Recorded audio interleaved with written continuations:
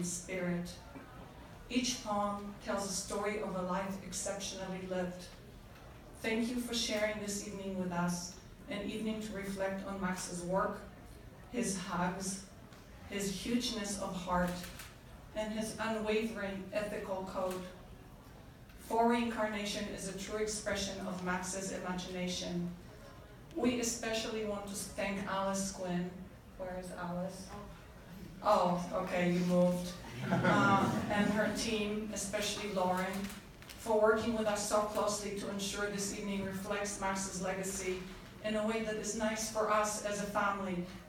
Alice, you put in so much time and effort, and you put up with my anxieties and neuroses, as Max would put say, to create a special evening and a proper tribute to Max and four reincarnations.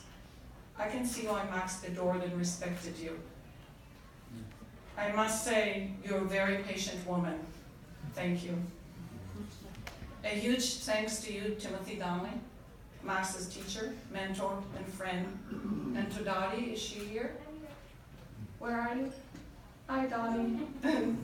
and to Dottie um, Lasky, you brought color into Max's life and his poetry. Thank you for collaborating on creating this evening and for teaching Max and loving him so well. I love you both.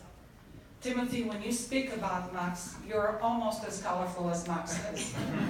Max Genta sticks out in my memory so fondly as it describes Max in a word. And Dottie, the exercises you gave him while he was in Columbia, prancing around the room looking for some object, never knew what, with the goal of writing about something which you assigned to him. Thank you, Jen Benka, for collaborating tonight, as well as for giving Max his first poetry internship. And thank you, Bill Zabel, for making it happen. I would also like to thank Sarah Ruhl, whom Max adores. Sarah, you're one of a kind teacher, mentor, close friend, soup maven, in-house Buddhist consultant, and boot provider. Victoria and I adore you and love having the chance to spend time with you now standing in for Max. Jean Valentine, thank you for selecting Max for the 2014 Chapbook Award. Aeons is such a meaningful and important Max creation. It takes a village. Daniel Slager, what can we say? You gave Max the will to fight for extra months and the will to live and create. When you accepted his book for publication, you turned all the bright Max lights on. It completely transformed Max's mood and will to fight. Knowing his book is actually being published was a true unexpected gift.